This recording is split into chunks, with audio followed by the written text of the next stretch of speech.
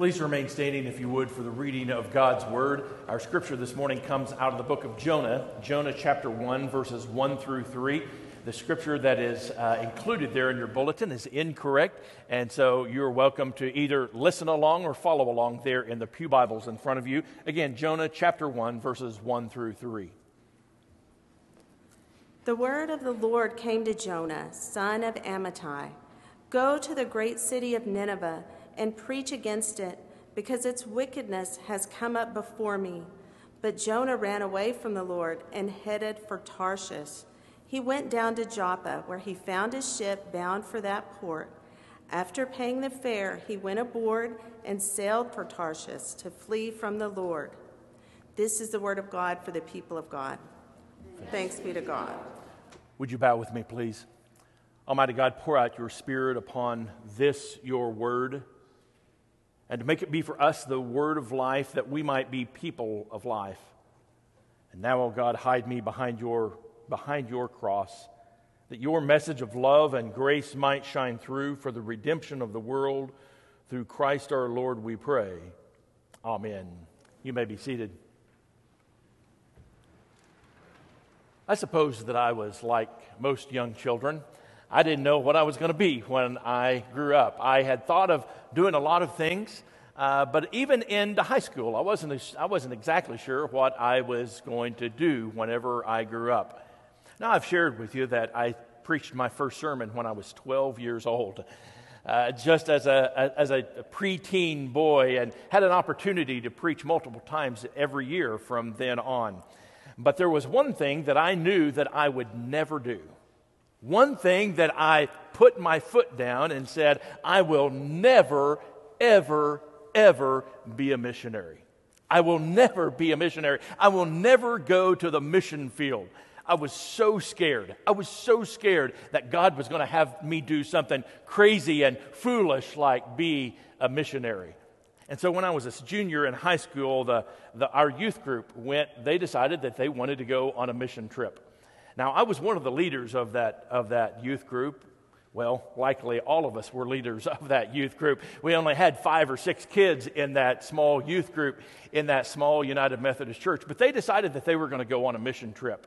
And I put my foot down and I said, I'm not going obviously it well it was obvious to everyone that I was that I was missing from that mission trip. When they came back from that mission trip, I didn't want to hear anything that they talked about because I was bound and determined. I actually made a vow that I would never ever be on the mission field. I would never I would never be involved in missions. It scared me so much. Well, you know part of my story the next year, my senior year in high school, God called me to be a United Methodist pastor. And so I, I followed that call. I, I, I, gave in to God's call in my life to, to be a United Methodist pastor. So went on and got my undergraduate degree, went on and went to seminary. And then I was appointed to my very first church. My first church was in Woodward, Oklahoma. And that church in Woodward had been founded in 1979 to reach the oil field people that were moving into Woodward. You remember the late 1970s and 1980s? There were boom towns that were popping up all over western Oklahoma and the Texas panhandle. Woodward was one of those towns that had exploded in population. And so, the, uh, you remember back in the day, maybe you remember that, that we thought that that boom was going to last forever. And so they started a church. The Methodist, start, Methodist Church started a, a third Methodist church there in Woodward, Oklahoma, designed to reach the oil field folks that were moving in into that community. And at the very heart of who that church was, it was a mission loving church. God has an incredible sense of humor. I had vowed that I would never be involved in missions. And God sent me to a church that, at the very core of who they were, they were missionaries at their heart. In 1981, that church took a mission trip to Bolivia. It was one of the very first short term mission trips that had been taken, really, of, by United Methodists, really even across the world, but uh, across the United States, but especially out of Oklahoma. And they went on a mission trip to Bolivia. Today I'm wearing a stole that comes from Bolivia. because of the special relationship with New Horizon United Methodist Church in Woodward, Oklahoma, and Bolivia. In fact, the last president of Bolivia, the former president of Bolivia, in his inaugural address, he made it a point to, to, to highlight the importance of the United Methodist Church, the United Methodist Church in Oklahoma because he said the United Methodist Church in Oklahoma had saved his country from collapse. It all came out of this small little church in Woodward, Oklahoma, in which I was the pastor. And so I didn't have any, I didn't have any choice but to be involved in missions. We took a number of mission trips when I was the pastor of that church. One of the, I think it was the last mission trip that we took. We took to Honduras. We went to Honduras on our mission. Uh, we had been to Puerto Rico. We had been to multiple areas in the state. We had, we had been really all over the United States as well. And this was a, this was a big trip for that church. It was, a, again, a relatively small church, a church of around 70 or 80, right about the size of church that I grew up in. And so we got there in Honduras. We flew into Tegucigalpa. I don't, you likely have not been to Honduras. Tegucigalpa is the most dangerous airport in the United States because it's, it's, it's surrounded by mountains.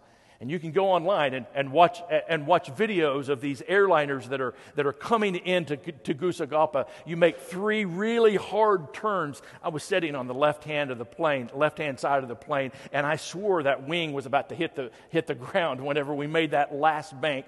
And we find, the, the pilot finally leveled it out. And immediately when he leveled it out, we hit the ground and he put on the brakes.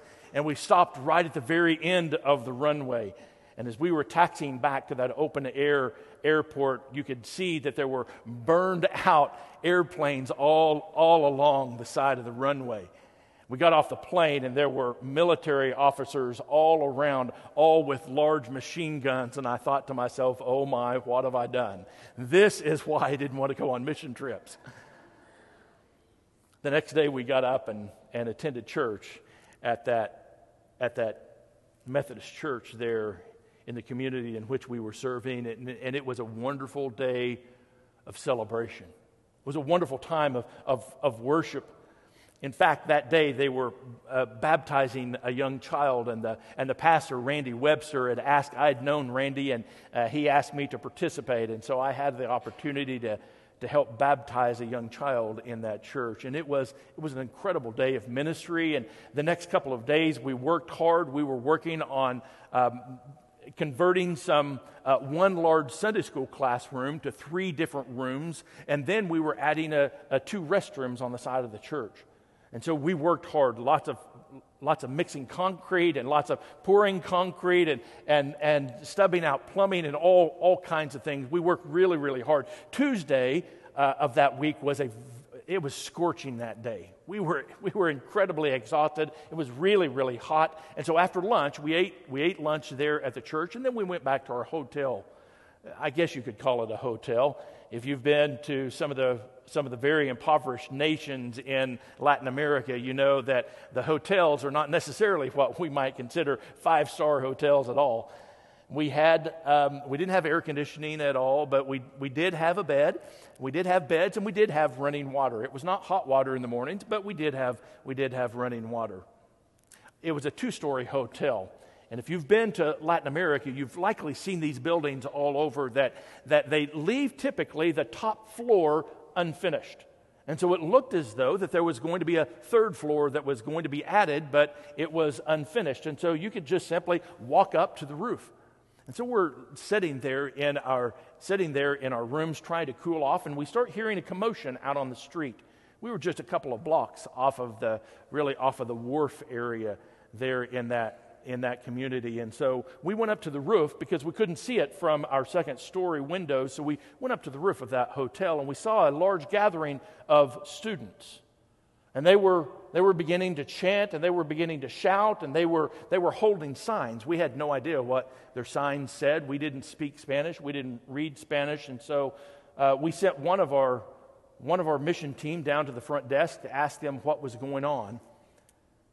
And so they, they, they informed us that the schools had let out that day and there was a large student protest, and they were protesting the, the war in Iraq that the United States had just, had just started. And so there we were with a, with a, with a bunch of um, small town people from western Oklahoma in the, in the middle of a Latin American country, and they were protesting us. And I, I made up my mind right there. I didn't want to be there. I didn't want to be there at first. I was, I was scared to death. I, I, wasn't, I wasn't exactly sure how safe it was. I had no idea. I mean, it was, it was very obvious all around town that we were there. Even though it was a town of about 40,000, uh, it, was, it was known all across town that there was a mission there was a mission team from America that was there. So everyone in town knew that we were there. So I was scared. And then my fear turned into anger. Who are they? Who are they to be protesting me and my country? And I didn't want to be there. I didn't want to help those people out anymore. I knew that I was going to be stuck there for the next three or four days doing work.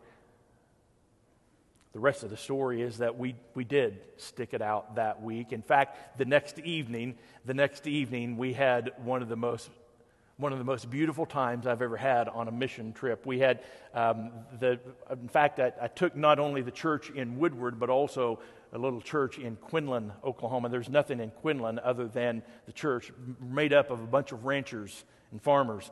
And one of the guys that was on that trip, he was, a, uh, he was quite a cowboy, and he was a, he was a great roper and he found a, found a little rope and he fashioned, he fashioned a lariat rope out of a little rope. And there were, there were 30 or 40 kids there at the church that Wednesday evening. And he had, he had such a beautiful time. Uh, he was twirling the rope and doing all kinds of rope tricks, and the kids were just, they were just infatuated with him. It was a beautiful, beautiful time of ministry, in spite of us really not wanting to be there, in spite of, in spite of my vow years before that I would never be part of a mission.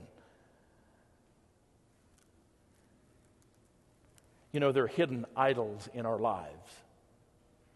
Even though I had given my life to ministry, and I had said, God, I will go wherever you send me in the United Methodist Church, in the United States, really only in the state of Oklahoma. God, I'm yours. God has a sense of humor. There are hidden idols in all of our lives. Idols that go even deeper than the idols that we've been talking about idols of, of romantic love and money and possessions, money or uh, idols of success, and, and even deeper idols that are hidden even deeper than the, than the idol of power. There are systemic idols, cultural item, idols. There was a historian that, that wrote a, a brief synopsis of the history of America, and, and he said that there really have been three movements of our culture in America. He said the first movement was, was that um, the, if, if you ask an American who they were, they would first tell you that they are a Christian. This country, the very first who came to this country, were they were trying to avoid religious persecution in Europe, and they came here because of their faith, the very first people. And so that understanding permeated uh, really almost the first century, almost the first century of this country's of this country's history. If you asked someone who they were, they would tell you who they were. Sometimes they would tell you, "I'm a Presbyterian," and they would tell you, "I'm a Methodist," "I'm a, I'm a Catholic," but it always went back to their faith, who they were. Their faith defined them. The second movement in American history, according to this historian, was was, a, was an era of patriotism. It really began after, after the Civil War. It began to ramp up more after World War I, but especially after World War II. You asked an American who they were, and they would say, I am an American. And their patriotism and their country came first in their life. And we saw it all over, all over, all over the United States. We were proud to be Americans. And then finally, according to this historian, the last movement in our culture has been one from no longer patriotism, but now if you ask someone who they are, what will they say? They will tell you their name. Because we are an individual, we believe in personal freedom. We are who we are. We are God's.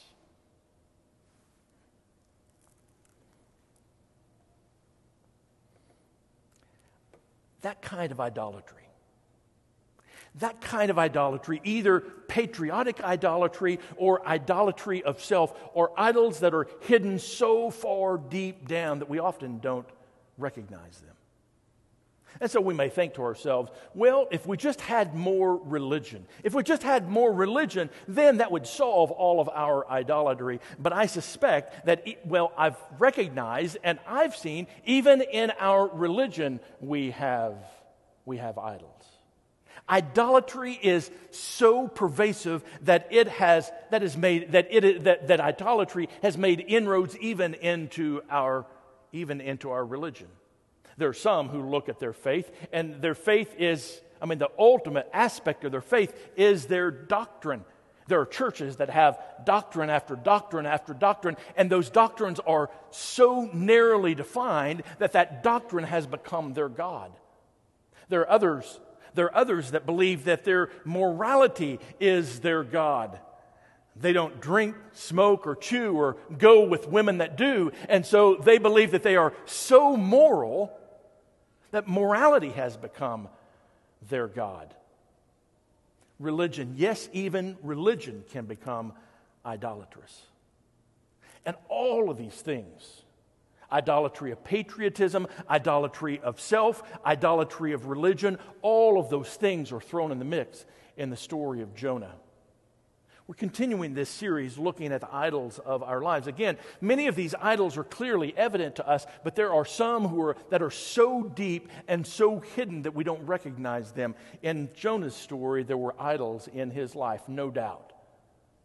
Jonah was a faithful Hebrew man a man who was incredibly faithful and uh, a, a, man who was no doubt following God. And he felt a call just like many of us have felt a call before. And God said, Jonah, go to Nineveh. Well, let me give you a little bit of background on what, on, on, uh, what Nineveh was. Nineveh was the capital city of Assyria. Assyria was the most powerful nation of that time. They predated the Babylonians. They were, they were ruthless. They were absolutely ruthless. And they were knocking on the door of Israel, the northern, the northern kingdom. This is during the divided kingdom period. In the divided kingdom period, you had Judah to the south and Israel to the north.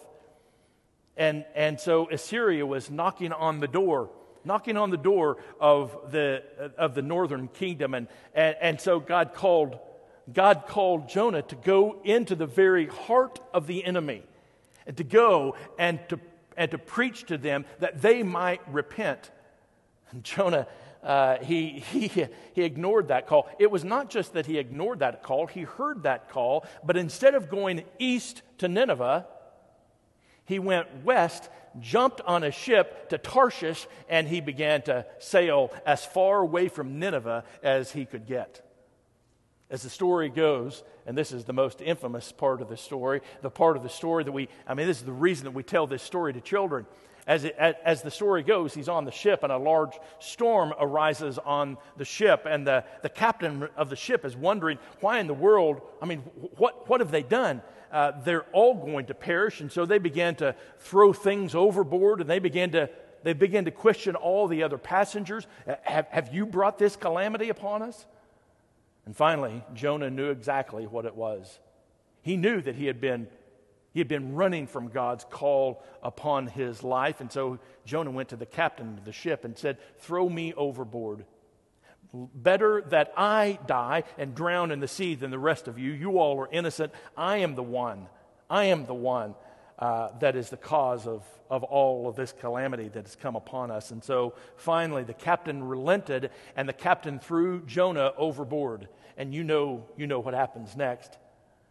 This fanciful tale, this, this, uh, this magical type of tale arises. A large fish comes up and swallows Jonah whole.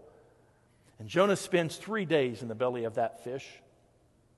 And it was in the belly of that fish that, that Jonah recognized that when there's a call upon your life, God will not give up on that call. I think that's one of the things that we uh, that I want you to hear. If there, is a, if there is a call of God upon your life, God will not give up on that call. He will continue to pursue you even into the belly of a fish. And so, in, there in that belly of the fish, finally, Jonah relented.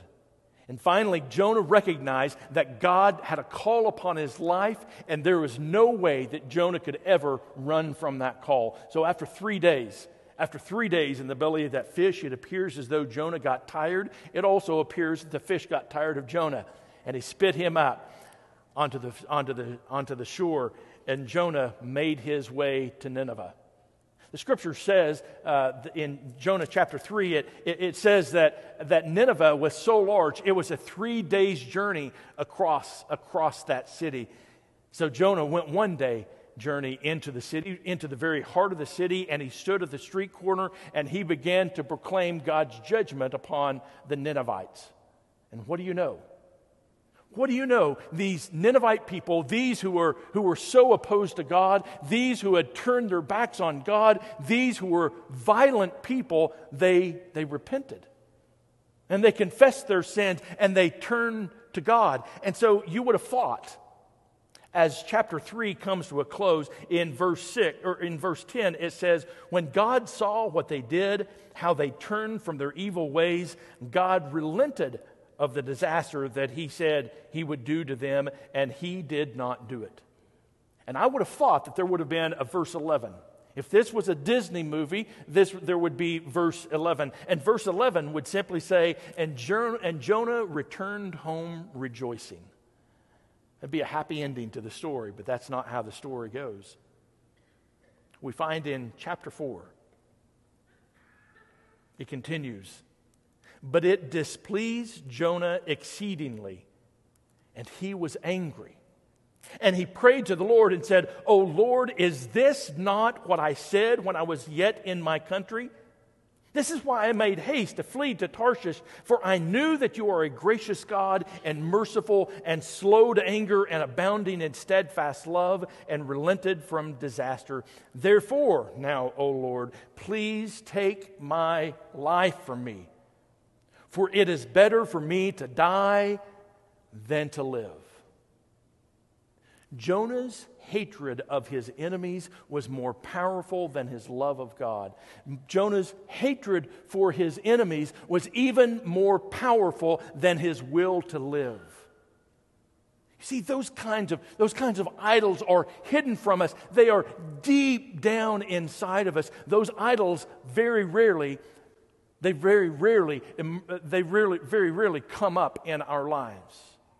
It's only when, be, when disaster begins to come upon us, it's only when stress levels become, uh, come upon us, do those kinds of idols begin to, begin to rise up in our lives. When the stock market turns a, has, a, has a deep and, and unrelenting downward turn, then we begin to see the idols in our lives when a pandemic comes upon us, we begin to see the idols in our lives. When marriages fall apart, we begin to recognize the idols in our lives. They begin to percolate up. It's astounding. It's astounding that, that when, when Jonah saw God's forgiveness upon these people, he would rather die than live and see it happen. I want to read to you a couple of chapters, or excuse me, a couple of paragraphs, not chapters, a couple of paragraphs out of this book. I've, been, I've, I've gotten a lot of ideas uh, from in this, in this series from this book. It's, it's entitled Counterfeit Gods. It's by Tim Keller. Listen to what Timothy Keller says. Idolatry has distorted Jonah's thinking. He goes on a tirade that most people would think insane. How could Jonah be furious that God is a God of compassion, love, and patience? For the same reason that lovesick Jacob could be so easily duped and greedy Zacchaeus could betray his country and everything and everyone around him. They are blinded by their idols. When an idol gets a grip on your heart, it spins out a whole set of false definitions of success and failure and happiness and sadness. It redefines reality in terms of itself. Nearly everyone thinks that an all powerful God of love, patience, and compassion is a good thing. But if your idol, your ultimate good is the power and status of your people, then anything that gets in the way of it is by definition bad. When God's love prevented him from smashing Israel's army, Jonah, because of his idol, was forced to see God's love as a bad thing. Listen to this. In the end, idols can make it possible to call evil good and good evil. Did you get that? In the end, idols can cause us, can make it possible to call evil good and good evil. Is there no better description of our current culture than that? Calling evil good and calling good evil. In this culture of cancel culture, have you noticed? Have you noticed what's happened over the last three to three, three or four or five years? It used to be that when someone apologized, someone repented of something that they had said or that they had done, we would forgive them no longer. No longer in this, in this culture of canceling others, if anyone has ever, ever made a mistake, they are all now now, as a culture, we are going to condemn them for their mistake from here to eternity. You see, it's a good thing, sisters and brothers, to forgive one another. But our culture has turned that which is good and they've made it into evil. Oh no, if we ever forgive someone, we are saying what they did was right. That's not true at all.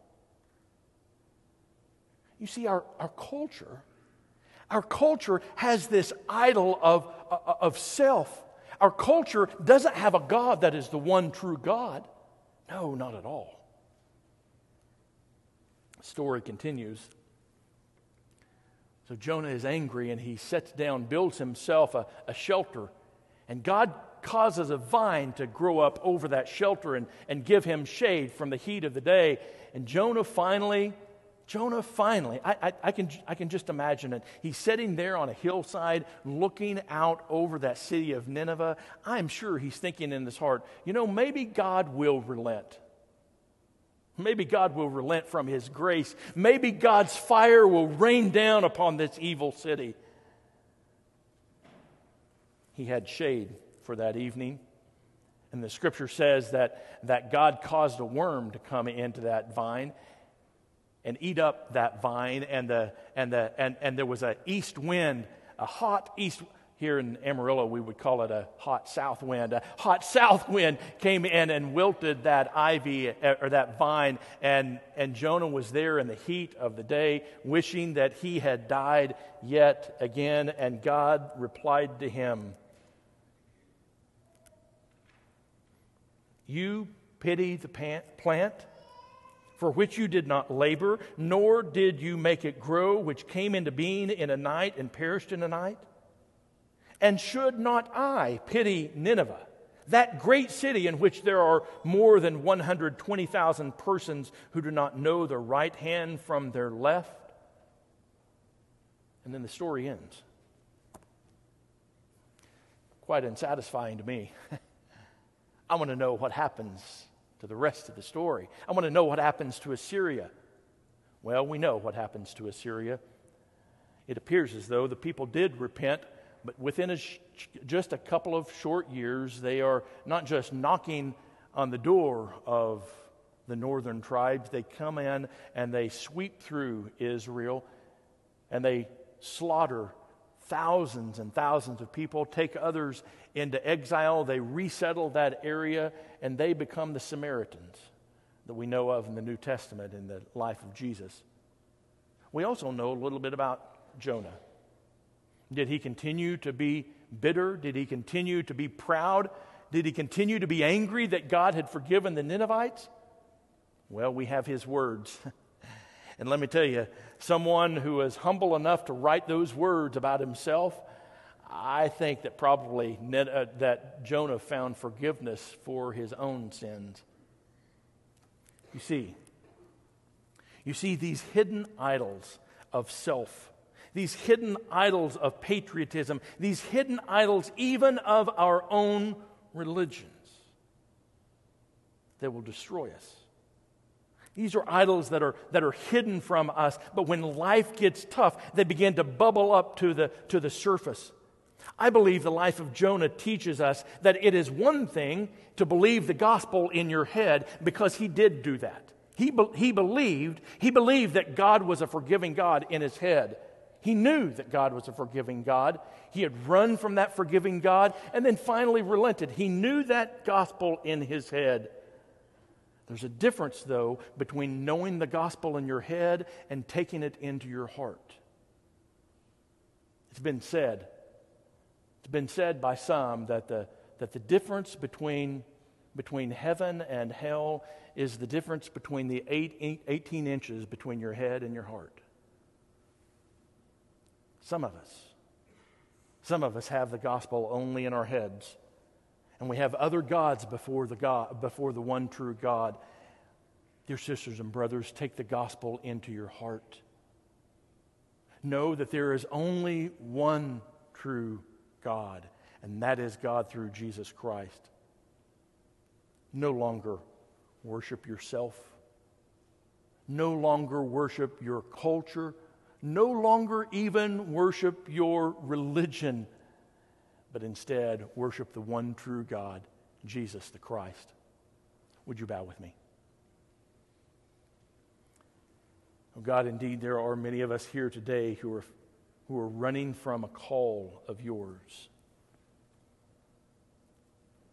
We're running because we have other things that are first in our lives things that oftentimes are hidden, things that we don't even recognize. Just like many years ago, God, I was so scared. I was so scared that you might call me to step out of, of being comfortable. I was so scared that you were going to call me into scary places, dangerous places.